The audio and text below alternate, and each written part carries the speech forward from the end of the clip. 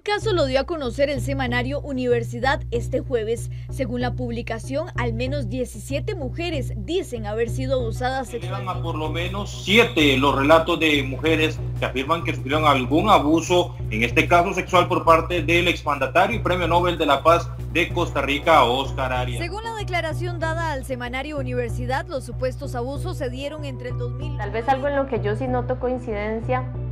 es en que hay una búsqueda de un espacio que no se les ha dado por parte de las instituciones formales que deberían investigar estos casos. El rol de los medios de comunicación es precisamente servir como un canal para dar voz a estas mujeres que en la sociedad, tal y como la vivimos, eh, y que también tiene que ver con el ejercicio del poder, es muy difícil que las mujeres tomen la decisión de ir a denunciarlos.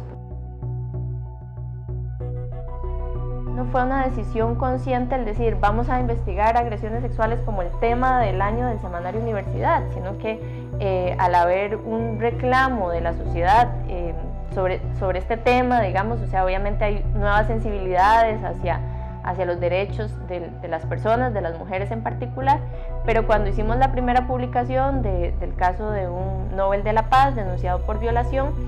eh, sí vinieron otras personas y nos dijeron específicamente por la forma en que ustedes abordaron ese caso, la seriedad, el tratamiento que le dieron, eh, nosotros queremos hacer esta denuncia y queremos que ustedes trabajen el tema. Eh, grupos de mujeres que, que, venían del ámbito, por ejemplo, de la cultura, en el caso de un escritor, o, o de otros del ámbito académico, en el caso de la Universidad de Costa Rica.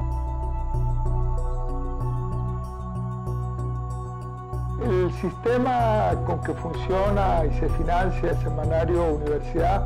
es muy particular porque nosotros somos propiedad, somos una dependencia de la Universidad de Costa Rica,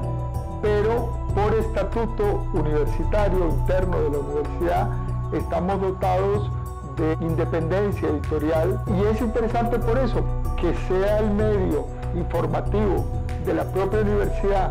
el que aborda un tema tan urticante, tan controversial eh, como el abuso académico, eh, tuvo un enorme impacto.